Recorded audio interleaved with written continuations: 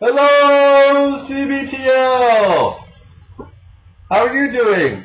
I don't know if you remember me, but you put me on your Facebook page a long time ago.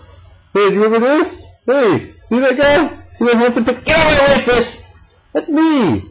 Remember me? Oh. So I saw this contest on your page for one perfect reason for one perfect cup. And I thought about it. I want to win me that espresso machine. Um, because I love you. Is that is that a good reason? Here. Mwah. Oh, that's not a good reason, is it? Um, well, to tell you the truth, it's tough being a banana under the sea. Look, you got you got this thing here. Look, it's obviously I'm under the sea and I don't get much coffee, and I have to swim to the shore to get coffee.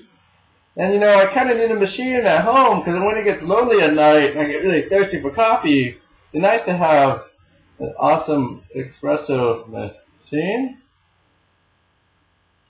That's it. It's tough. It's a banana suit. Ah, get away, fish.